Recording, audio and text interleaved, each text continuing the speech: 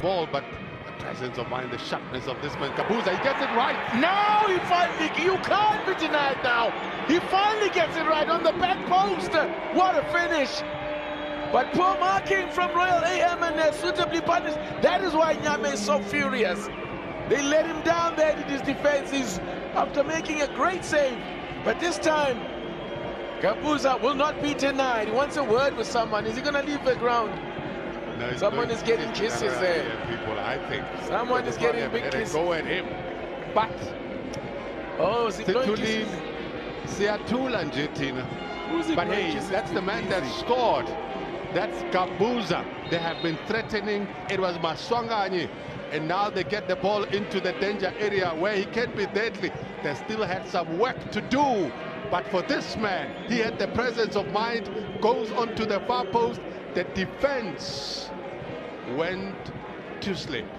And it is the Maswanganyi who had a shot on target on his debut, set up Gabuza, the technique as well, because he goes for a diving header.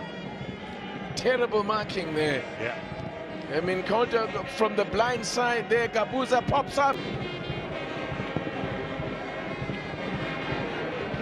Now, Rayners will look to hold it up.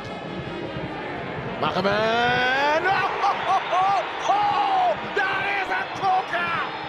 A worldie from a grandmother, man! Whoa! Light up a firecracker, why don't you? Woo! How it was built up, Reynolds getting involved, well set up for him. He had enough time on it. Esolo samanyunyu, chito oh. chabwino maningi. Wow. No chance whatsoever Not for Nyame, who has been fabulous tonight. There's no stopping this one. No. It's a response that they needed. It's a good job. There's a net there. That ball would still be flying. What a strike. Open up a bit. He can choose to either play wide or near. And the goalkeeper was caught between thinking that maybe the wide area was where the strike was going to go to with. Tim goes back to Authority. The dribbling wizard, he's been caught in possession.